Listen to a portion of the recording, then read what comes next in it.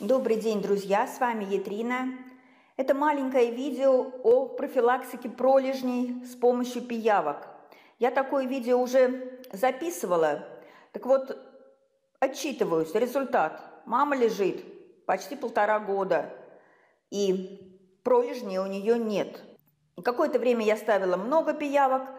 Сейчас я пиявки почти не ставлю, потому что я маме даю вместо них пиявит, который ничуть не хуже, чем пиявки, улучшает микроциркуляцию во всем организме. Но у мамы абсолютно обездвижена одна нога, и на пяточке я недавно заметила, что намечается пролежень. Вот как всегда, я поставила несколько пиявок, в общей сложности 5 пиявок. Пиявок я поставила всего два раза. Но окончательный результат то есть доведение до идеального состояния кожи на пятке удалось добиться с помощью пиявита спрей. Спрей косметический предназначен для ухода за кожей. Способ применения – встряхнуть флакон и распылить небольшое количество спрея на кожу, нуждающуюся в уходе, распределить легкими массажными движениями. Состав спрея – вода, экстракт пиявита, то есть экстракт пиявки – физиологический раствор, масло эвкалипта, глицерин и другие косметические компоненты. Чтобы спрей не стирался, я наносила его на пяточку, прикрывала полиэтиленовой пленкой и одевала носок.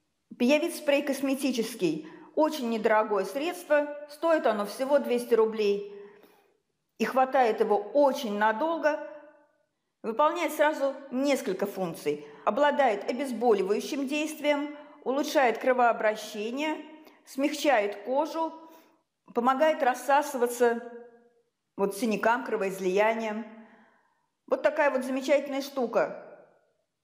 Единственное, о чем следует помнить, что э, если вы задумали делать профилактику пролежней, используя пиявит спрей – то его можно наносить только на неповрежденную кожу. То есть пока пролежень только намечается. Вообще очень хорошо с этим спреем а, делать небольшой массаж вот этих вот мест, в которых возможно образование пролежней.